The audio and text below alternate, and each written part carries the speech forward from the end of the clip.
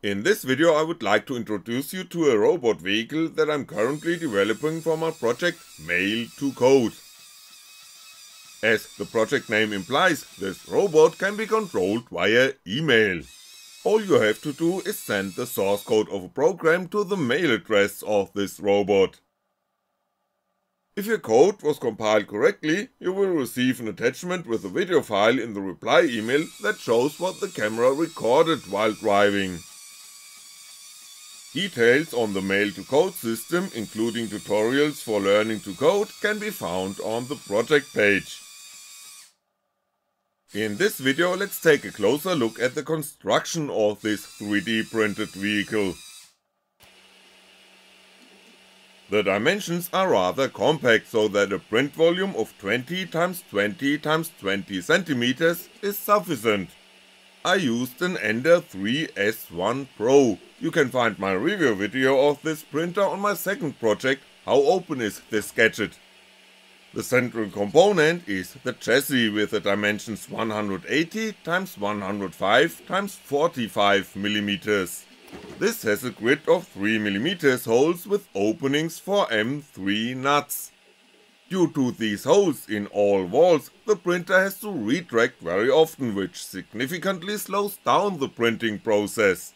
The Ender had no problems with this, the printing process went smoothly, but needed about 13 hours to complete. Like the chassis, all parts are composed of simple geometric shapes, the design is not fancy. The components were created with OpenSCAD, a 3D design program that creates objects from lines of code. The robot is also suitable for learning programming languages from this side. For the drive motors I choose standard RC hobby servos for continuous rotation. You can buy these as such or simply modify normal servos for continuous rotation. I have already shown how to do this. Hobby servos are easy to source at moderate prices. A basic principle of this robot should be to use only standard components in order to make a copy or repair as easy as possible. Two of these are required and the servos are screwed directly to the chassis. This brings us to the wheels. These have a diameter of 72mm. This means that the robot is not too fast, the servo gears are not overloaded, and there's sufficient ground clearance. The servo horn is screwed to the drive wheels, which is then attached to the servo with a central screw.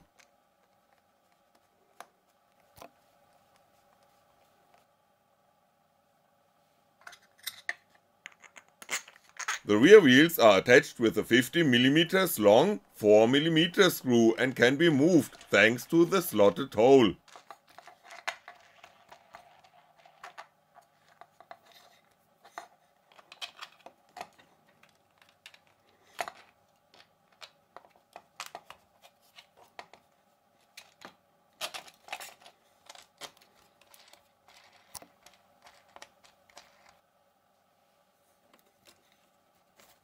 The drive wheels are connected to the rear wheels via a chain that can be tightened with the slotted holes.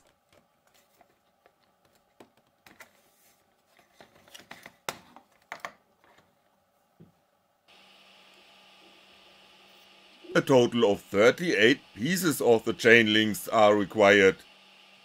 I printed these and a few spacers as the only components from ABS, not because it was necessary, but only to be able to use a little of this unloved material in a meaningful way. Due to the small dimensions of a chain link, the shrinkage of ABS when cooling down does not ruin the print. Normally all parts should be printed out of PLA, or if higher temperature stability is required, out of PETG. The chain links snap into each other, nothing needs to be screwed here. A Raspberry Pi is used as the main processing unit, The corresponding mount is screwed to the front of the chassis.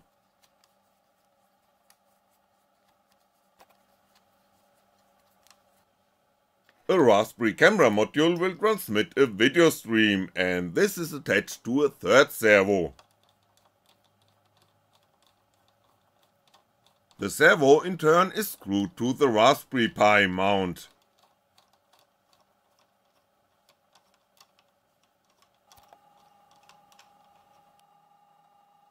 Six LEDs are arranged around the camera so that driving in the dark is also possible. The main purpose of this project is to learn how to program microcontrollers, that's why an ATmega 2560 board is located as a second computing unit on the rear of the chassis. All of the peripherals are controlled via this board.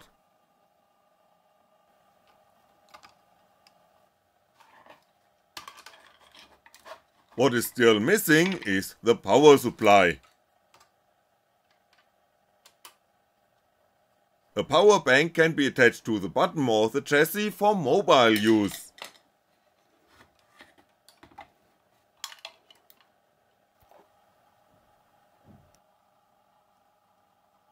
My proven power pole with sliding contacts is used for driving around the clock on my attic. This is also well suited as a carrying handle.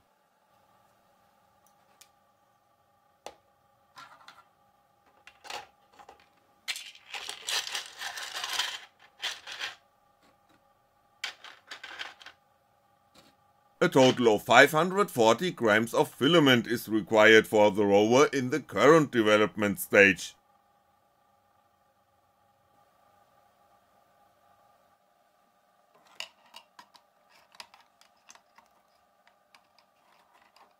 Not too many components have to be soldered for the electronics. The prototyping board fits on the ATmega and is currently relatively empty.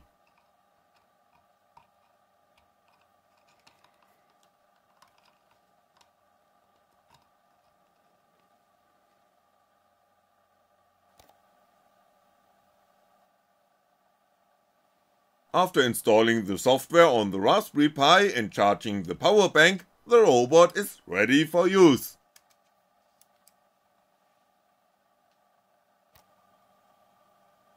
This prototype will be used on Teachers Day at Maker Faire Hannover on August 19th, 2023.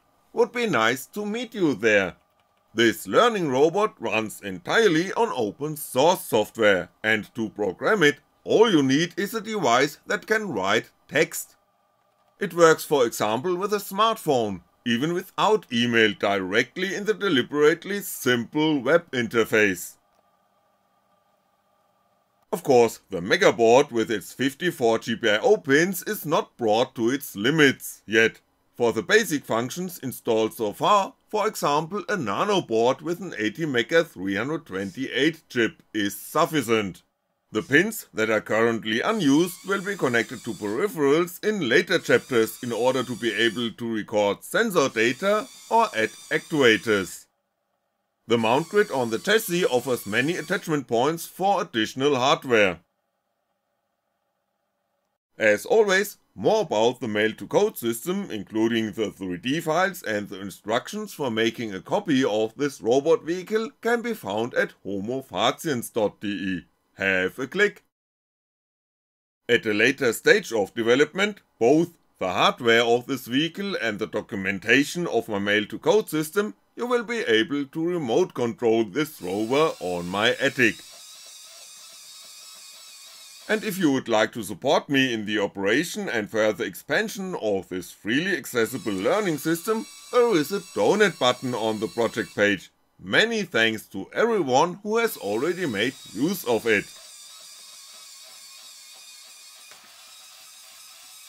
Thanks for watching and I'll be back.